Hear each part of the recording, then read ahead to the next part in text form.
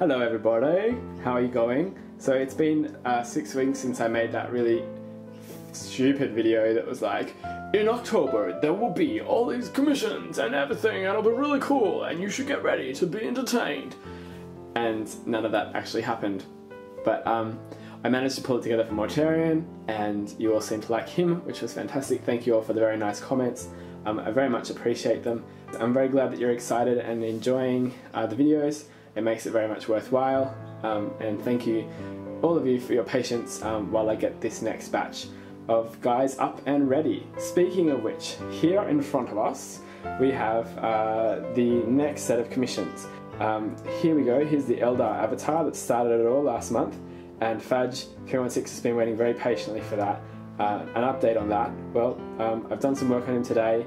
Um, I'm gonna what I'm gonna do is aim to get this these four left to right done in the next 10 days. So Monday of next week, of the week after next, um, we'll have had probably two videos in each. So one video nearly every day, touching on different points of each production. So uh, working with Forge World, um, repositioning uh, resin, uh, Manius as Asdrubael Vect, working with green stuff and billowy capes, uh, warping terrain, um, uh, Isamu Dyson's uh, Abaddon um, will be uh, how to convert up in terms of scale from an existing metal miniature like Abaddon, which is actually smaller than a Space Marine Terminator, which doesn't make sense because he's actually meant to be in Terminator armor. So I'm going to need to look at him, cast different parts of his armor, and then reapply it to a Terminator body um, in the new pose that we've been talking about. And there'll also be some lots of gore here um, and UHU glue and stuff like that.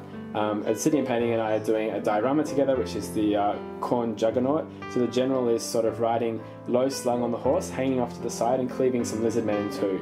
So um, that'll be a fun little diorama to put together. And also in here, what I've got is the 40k Juggernaut that needs to be sort of um, reverse engineered and adapted to be a Warhammer Fantasy Juggernaut. So that will be also the, the focus of that video about that project. So those four done in the next 10 days. Now, if you if you if that worries you as a client, please just drop me a PM in YouTube um, and just say, hey, I'd like it to take some more time. Um, but let me assure you that I'll only be doing that if I can maintain a level of quality. Of course, um, I every time I do a project, I'm wor- I worry that it's not going to be as good as the last, um, that it might be worse, or that people might not like it as much. And I, I always get worried that someone is going to say, "Oh, that's not as good as such and such," and I'll and I'll be terrified. I'm mortified for the client too. So, um, so um, thanks for all the enthusiasm so far, and I want to like keep keep that sort of level of quality um, and just sort of aim to impress um, or aim to misbehave. Um, if you know what that's from, awesome.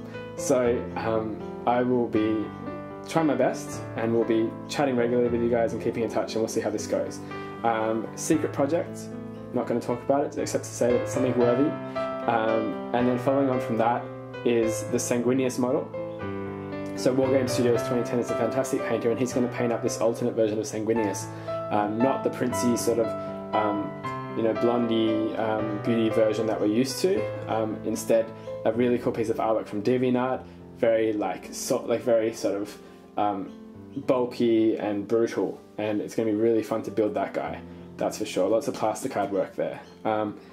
Then, um, following on from that, um, Fellhanded 505 or Obi has got me doing his White Scars captain on a bike, which is exciting for me because it's the first time I've got to do a bike.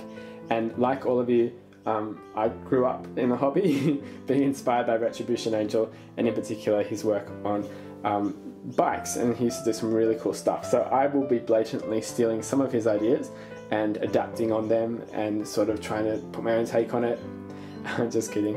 Um, but very much being inspired by what he did. Um, I've got three bikes on order, so we're going to combine three different bikes to, to make the ultimate White Scars bike. Um, and a, a, really cool looking White Scars um, Space Marine riding it.